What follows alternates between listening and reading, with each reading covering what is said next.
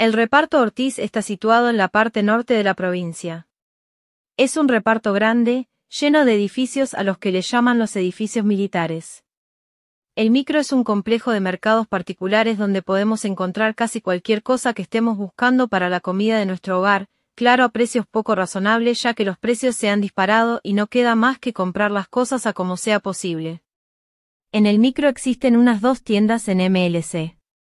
Antes teníamos las llamadas locales que en un par de minutos estabas en el centro del pueblo, eran guaguas que transportaban de un punto a otro, trabajaban desde muy temprano en la madrugada hasta muy tarde en la noche, siendo el transporte ideal para trabajadores y personas que salían a disfrutar de las noches.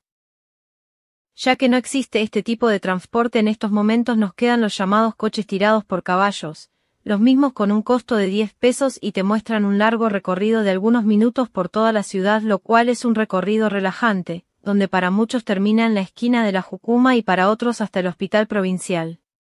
Espero que te haya gustado mi recorrido en coche. Si te gustó el vídeo no olvides dejármelo en los comentarios, no olvides suscribirte y déjame ese pulgar arriba.